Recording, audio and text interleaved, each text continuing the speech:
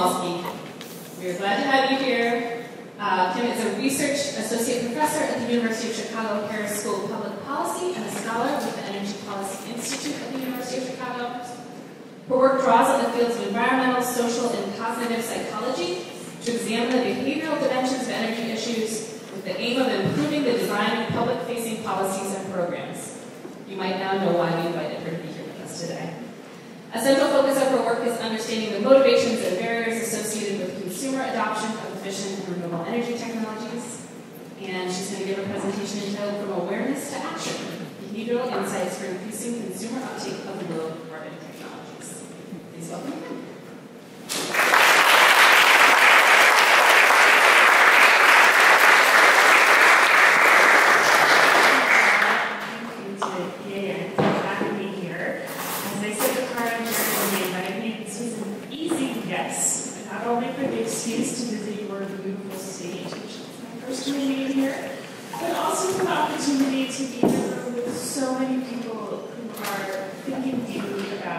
household decarbonization and building boots on the ground.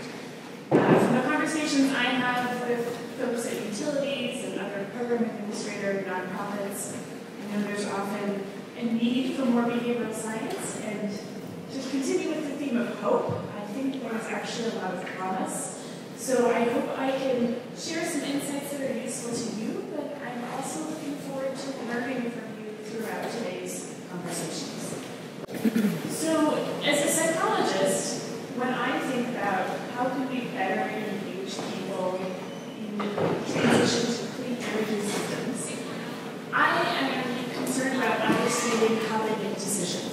I want to try to understand the limitations, how people process information, where are the of friction for them, and use those insights, as Carla already hinted, to try to improve how we design programs and our outreach.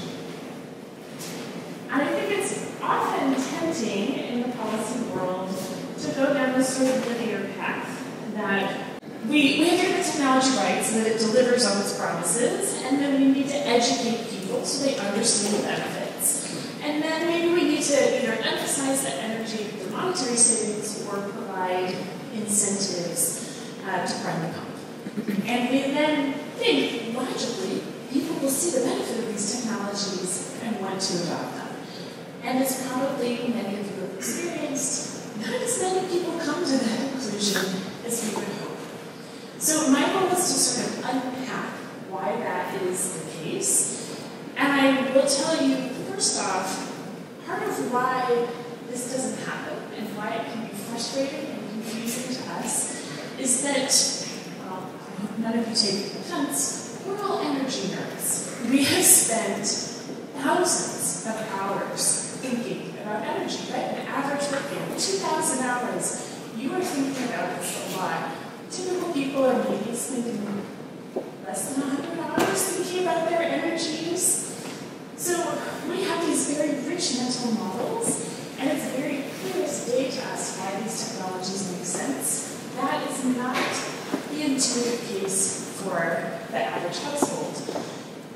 For most people, energy consumption is something that is out of sight, out of mind. You might think about it when you're filling your gas tank or if you're of heating fuel. But for most people, energy is more about the service it provides, allowing us to get from point A to point B, providing us a warm, secure home, allowing us to do the things we want to do.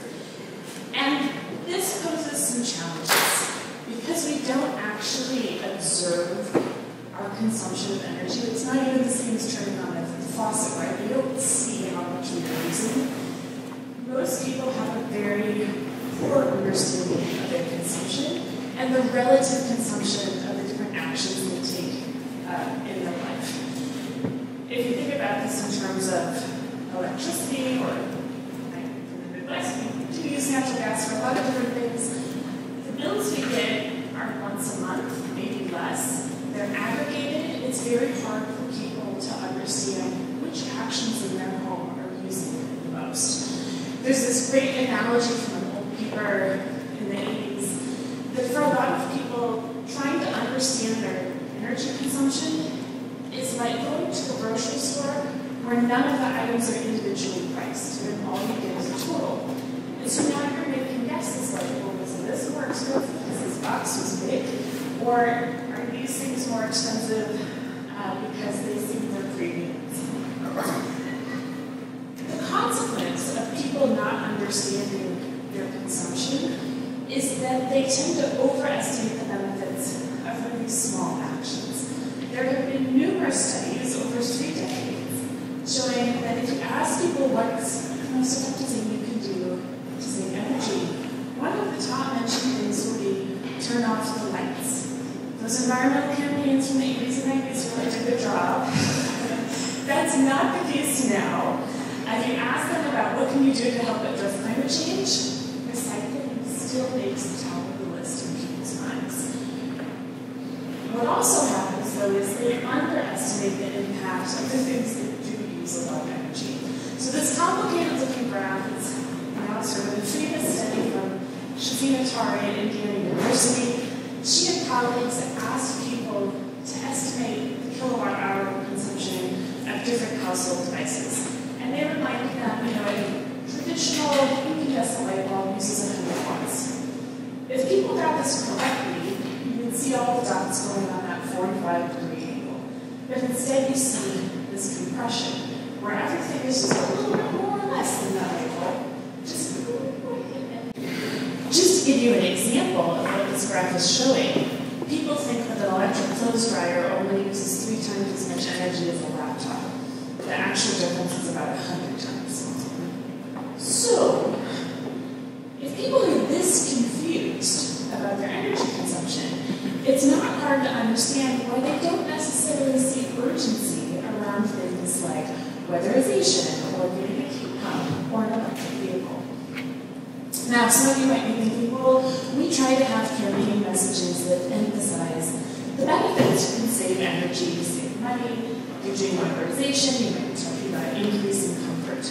And while it for sure is good to point out the benefits of these actions, let me help you understand why this may still not be motivating enough. So, instead of being these perfectly rational creatures, humans use a lot of mental shortcuts to make decisions. We call these cognitive biases. And one of them is what we call the sunk cost fallacy. Picture of an old car here. I like to use the example of a refrigerator. My own grandparents kept a refrigerator that was older than me for 25 years because they're from the waste not, want not generation. I paid for this, it works. Why wouldn't I use this until it dies? They were blown away when they had to get a new refrigerator. But sunk cost fallacy keeps people invested in what they already have. What I think particularly relevant to these new technologies like heat pumps are two biases called present bias and loss aversion. Present bias is this idea that we like instant gratification. We care more about immediate rewards than future gains. That's why we get tempted into the piece of chocolate cake, even though we have a long-term goal of being healthy. Loss aversion is this idea that we feel the pain of a loss much more than we feel the joy of an equivalent gain.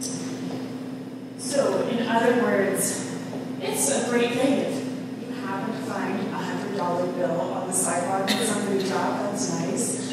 It feels so much worse if you're the person that lost it. It feels. Many studies show that loss can feel twice as big as the joy of.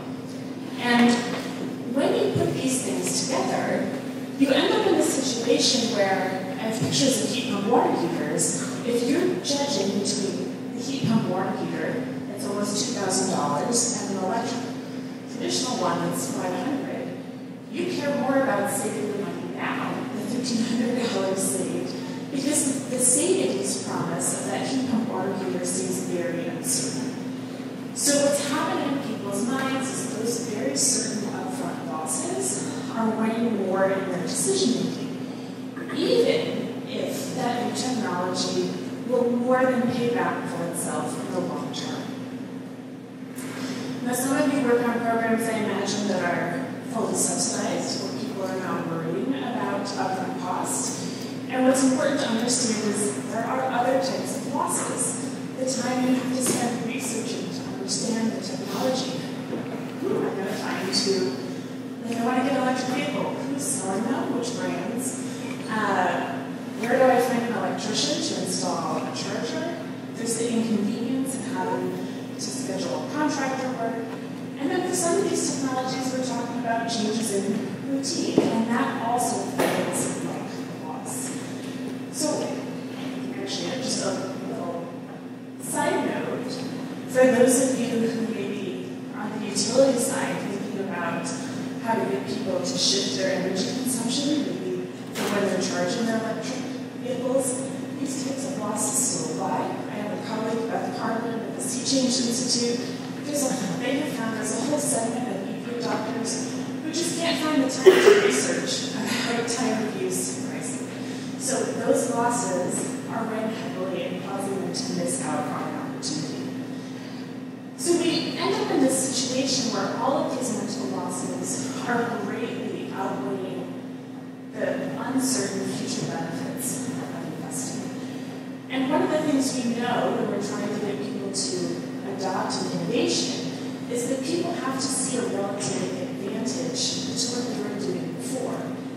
And if you're talking about, say, someone's current heating system, this is flipped, right? These are now all the benefits. I don't have to do research. I can just keep using the heating system that I have. And sure, maybe I'm spending a little bit more, but gosh, I'm saving in terms of not all of this hassle. So, what are some things we can do to try to shift the balance of these costs and benefits? And I'm going to share with you some evidence-based strategies. One of these is about simplifying the process to adoption and making it social. And I'll explain both of these. So, as an environmental psychologist, I think a lot about what I call the information environment. Um, environmental psychologists study how people are influenced by things that are happening in the environment. And this goes back to our prehistoric ancestors. We like to be in environments where we can easily wayfind and have a sense of where we're going. And unfortunately, a lot of the energy space is throwing a lot of information at people that's going on. So one of the things we can do is really shift the burden to implementers and program administrators and not to the end users. And some of this is going to feel, some of this I know Vermont is already doing, and some of this might feel counterintuitive. Um, certainly having a network of approved contractors so people already know who's a trusted entity is a great start. There's kind of, we often, especially in the US, think that more choice is better. Let's give people lots of options so they can get exactly what they want. And what we know from psychology is that the more complex and the more options there are, the more people are likely to do nothing and to stick with their status quo. So think about how do we reduce the set of options to a short menu of maybe two or three different things. To resist providing all of the information. I, I don't know if it's the lawyers that we should be for this. but I see all the different language sometimes on how do you qualify for a program, we tend to put everything out there all at once. And less is more. And to give you an example of an information environment where people are not restraining themselves, let me remind you of something you might find in your own home. Those terrible remote controls with about 100 buttons and you can about three of them. This is the actually the remote for my DVD player. It has things on it that I have no idea what they mean. And the engineers who designed it so desperately want me to know the cool things they have programmed into the DVD player. And I would say, as energy professionals, we are used to being like these engineers. We know all the different steps. There's all these different nuances in terms of who can qualify. We're kind of expecting people to figure out how to navigate this, when all they want to do is get their voices play. So we need to do more of the, this is my screen, my road code, remote. He understands. I just want to watch, binge watch something, and now we're going to add but buttons, I can just directly go to Netflix. I don't figure out how to get there. We need to think about how to condense and streamline information in the same way. And I will say it does mean it is a much bigger burden on our end, but I think it pays off in dividends that more people are able to figure out what to do.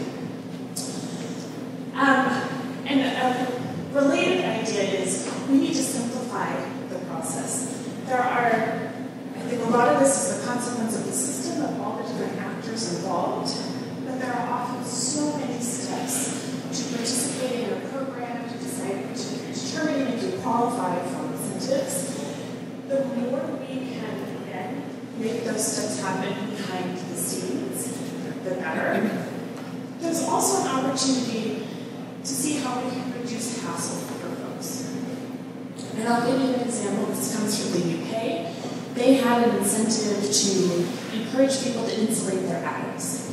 And there was some uptake, but not as much as they wanted. So they designed a little experiment. Uh, they had a different condition where you still got the incentive, but they offered an additional discount if you got your neighbors to also sign up for insulation at the same time. And then they had another condition where you got the main discount, but if you wanted, you could pay them to come clear out the junk from the attic. uh, no, this is actually surprising, and I'll explain why in a few slides. This program didn't work uh, in terms of increasing getting your neighbors to sign up at the same time for an additional discount work didn't work. Perhaps because it's really the hassle factor that has the biggest problem. Three times as many people signed up even when they weren't saving as much money. We also need to think about targeting people at the right time. I think the way a lot of energy programs are, they exist. We want people to take advantage of them. And really, people are thinking about replacing their car or changing their heating system or new water heater when the thing breaks. Or they've had some change in their life, they moved homes, they changed jobs, they go to their commute, they're renovating. Having a new incentive um, probably is most likely to attract the people who have thought about this more. It's the thing that's enabling them to act on their intentions. It's usually not the thing that motivates most people, though it certainly is beneficial. And what we know about when appliances break or people have big life changes, it's stressful. There's not much time. They don't have time to do research. They have budget constraints, and they're worried about other things like having a hot shower the next day or being able to get from A to B. So this relates to the next piece of advice of need to do more working with important intermediaries. Um, this could be real estate agents or home contractors, car dealers. Um, these are the folks that people turn to first. They're hoping they can rely on their expertise. And unfortunately, a lot of these folks don't necessarily have the right information. Um, a lot of salespeople in particular are wary of bringing up energy because they think that it's not what customers care about. And they often, there's sites where they send mystery shoppers in and they find out the salespeople have inaccurate knowledge about available incentives. When salespeople are trained, they may revert back to old practices. And so there's an opportunity here to potentially train these intermediaries and have incentives that make it more worth their while. The last idea here is to make it social. We like to deny this, but humans are very much influenced by what we see other people doing. It has to do with how our historic ancestors survived and had to cooperate um, in order to not be killed by much bigger, stronger, faster animals out on the savannah. Uh, I have research, a review paper actually showing just how important social influence is. Um, there's a lot of evidence for solar adoption and electric vehicle adoption that if people see more people using these technologies and if they can talk to people who use them, it shortens their decision-making period, it reduces the perceived risks, and it leads to more adopters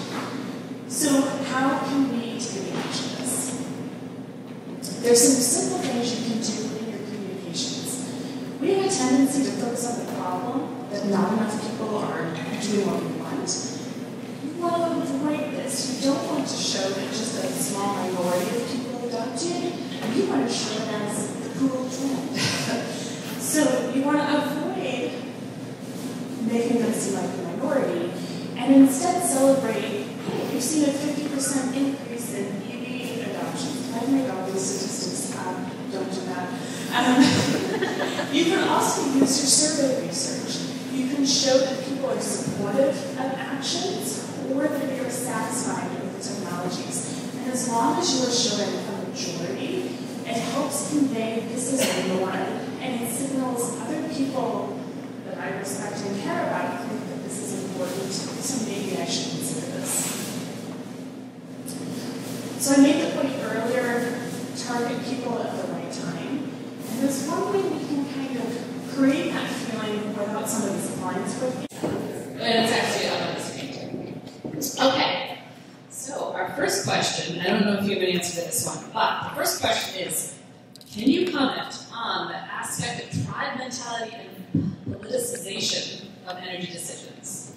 I repeated that question a little bit, so I'm assuming maybe thinking about how on the Democratic side we're engaging in conversations about climate change and maybe not so much on the conservative side. Um, yeah, that's a tricky question. I think it's one that researchers struggle with. Um, the, the shortest answer is, again, related to what people care about. I, didn't make this point at the end, but something I always stress with my students is you have to let go of your own motivations for why someone should be doing something and help people tap the intrinsic motivations they already have. So if someone doesn't care about climate change, so be it. There are other reasons that they might want to have a more comfortable home that is healthier if you're talking about weatherization, and you don't have to bring that climate angle into the conversation. Great. Okay, our next question is, do monetary motivations crowd out intrinsic motivations? How do you elicit relational values over instrumental ones? So the question of monetary motivations crowding out intrinsic motivations. This is a tricky one. If you were thinking about, um, let's say, demand side management, my utility likes to try to get me to reduce my air conditioning consumption on hot summer days by sending me little text messages and I get a little bill message later. You missed out on a dollar twenty-eight because you know, your neighbor's concerned for warmth. That is an example where, for sure, monetizing it is crowding out the maybe environmental reasons that I would consider doing it. And conveys a signal in that case the energy is cheap. Um, and that's probably not what you want to do. Talking about these large purchases, I think this now becomes much more about a true constraint for people. And I'm, I worry less about it crowding out intrinsic motivation. If anything, I kind of see the customer journey as they may have other non-monetary reasons for being interested in the technology, but then when it comes to signing a contract, the finances are going to matter, and those incentives can be critically important to adoption. Okay, I love this question. If a loss feels twice as big as a potential gain, how do we square that with the need to keep a positive message so we don't head into climate anxiety? Well, that's lots of things. so, um, sorry, I can't see this question. So, the first part, the loss, you can also see it on the screen, but it's. Yeah. So, uh, this, this is more your responsibility again. Um, part of what I was hoping to communicate there taking climate change out of the equation, just thinking about how do you get people to adopt. yeah.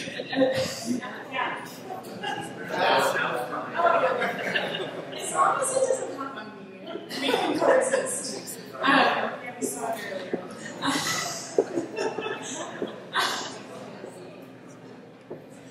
the mouse is um,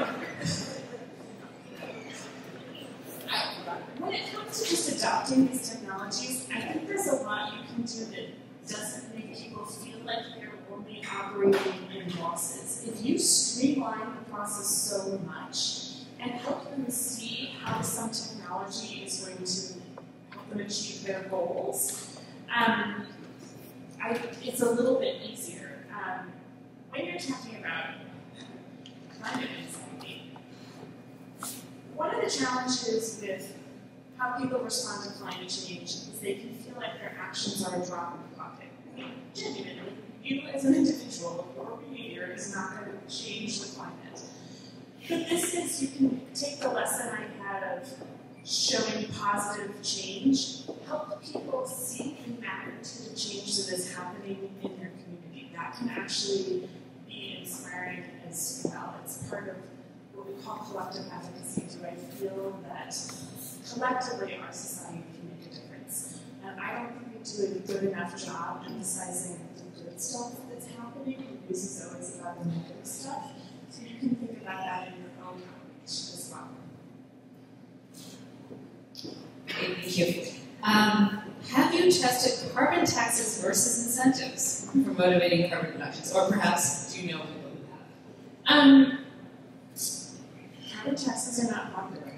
Uh, I work with a lot of energy economists, and the short story is it's not exactly a feasible strategy. Um, there have been a lot of studies looking at how people think about carbon taxes and under what conditions they would find them more favorable. Uh, they want to see that the tax is being used for environmental goods or that it's being redistributed to people. Um, but I think a lot of people in this community think it's a no-go. Uh, is there more question? Okay. I'm going to ask one more question. Do you, well, actually, I'm going to ask two more questions. The, the last one's a softball. Um, do you know of ways or tools that have proven effective in helping people understand the relative impact of each investment on their electric bill? Um, so, not something quite as specific as that, but Shahzeen Attari, who did the research showing don't see a lot of variation in consumption, has also done work showing that it's helpful to give them rules of thumb. So, large appliances, appliances that use heating or cooling that have motors, giving people sort of the non technical rule of thumb of this probably uses more energy um, can help them understand a little bit more. I think in general, you definitely want to stay away from just education because people won't spend the time. Anything that's quick and easy for them to process is going to be more valuable. Great. My uh, final, very easy question is Is it okay if we share your slides? Okay, excellent. So I'm hoping to share all or most of the slides from today after the, all of the presentations are done. Kim, thank you so much for joining us. She's going to be with us.